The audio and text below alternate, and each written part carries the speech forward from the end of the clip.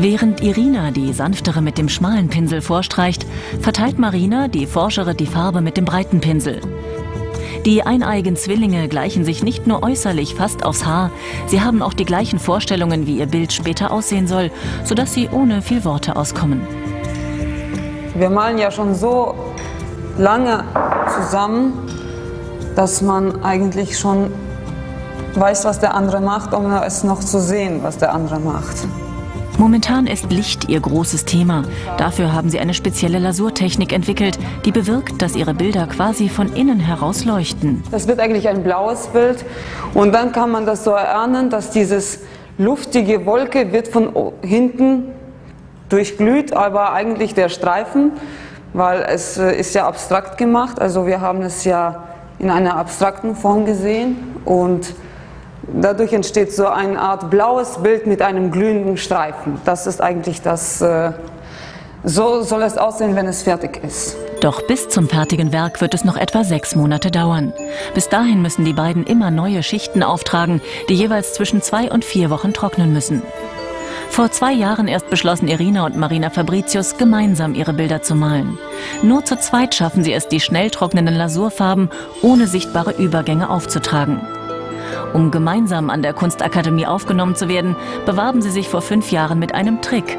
Sie tauschten vorher einige Bilder aus und schrieben jeweils ein halbes Wort auf ihre Mappe. Also wenn man die zwei Mappen zusammengestellt hat, hat man das Wort lesen können, unzertrennlich. Wenn äh, eine nicht angenommen werden würde, würde die andere auch nicht gehen. Eine wird niemals diesen Weg alleine gehen. Sie hatten Erfolg und wurden beide angenommen. An der Düsseldorfer Akademie hat es so etwas noch nie gegeben. Zwillingsschwestern mit identischen Begabungen. Seit vier Jahren sind sie in der Klasse von Herbert Brandl, einem österreichischen Maler, der selbst zu den jungen Wilden zählt. Er ist von den Zwillingen beeindruckt und überrascht gleichermaßen. So eine Arbeitsweise, also das zweimal an einem Bild arbeiten und dass das Bild dann so eine Homogenität kriegt, ist schon etwas Ungewöhnliches. An und für sich kommen sich Maler immer in die Quere und sind extreme Egoisten. Jeder will sein Ego in erster Linie mal hervor kehren oder seinen Stil finden. Aber die beiden arbeiten auf eine außergewöhnliche Art und Weise zusammen. So ein bisschen reicht aus eigentlich, dass man schon sagen kann, dass das ein weißes Bild schon fast ist, weil die, wenn man also die Augen zukneift, kann man sehen, wie stark es leuchtet. Also es, äh, man hat das Gefühl, dass das hinten so wie eine Art Lichtstrahl ist. Ihre Technik ist selbst für Laien faszinierend. Viele Motive entstehen vor dem geistigen Auge der Schwestern und aus der Erinnerung heraus, wie dieses Scheunenbild, das eine Stimmung aus ihrer Kindheit in Kasachstan wiedergeben soll.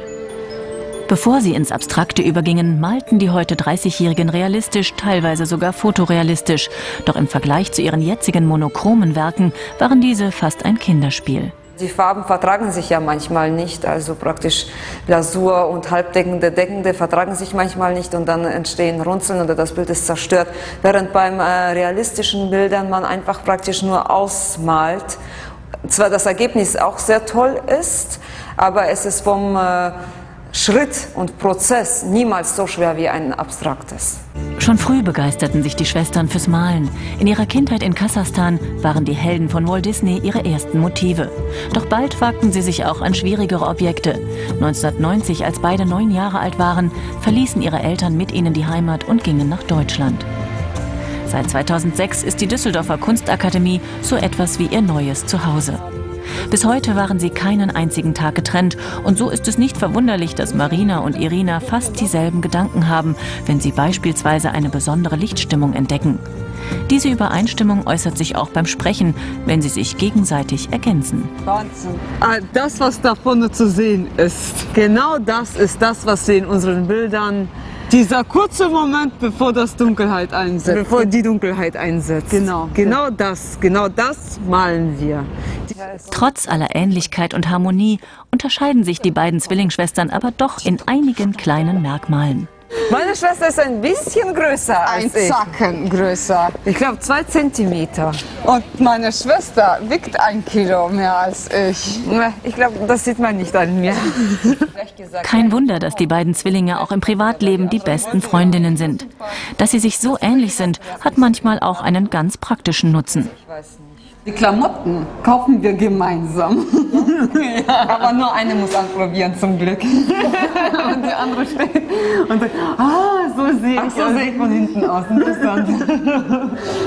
Eins steht für Marina und Irina fest, auch wenn sie beide mal eine eigene Familie haben sollten, werden sie sich dennoch in der Kunst niemals